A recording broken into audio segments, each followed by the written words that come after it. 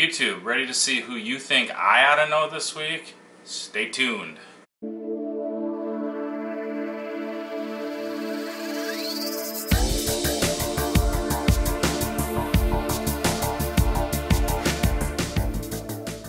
Hey YouTube, Brian here again, coming at you with another episode of I Oughta Know. That's right, the name is I Oughta Know right now for this Viewer's Choice series because I'm taking requests on people who you think I oughta know. So uh, without further ado, this week, uh, this week the person that you thought I ought to know was Jay Spalding.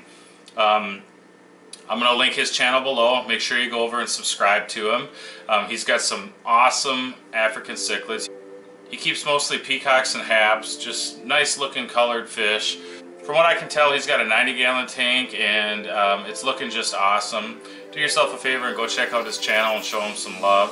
Um, he's got a great thing going over there and uh, I think you guys should all check him out and subscribe to him. So, so again, this week, Jay Spalding um, is a person that you guys thought I ought to know. I went and checked him out and I think you ought to go check him out too.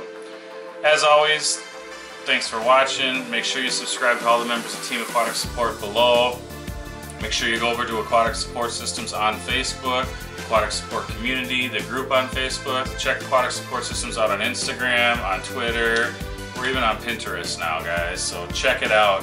Um, and uh, thanks for watching as always. Stay tuned for the next episode. Later.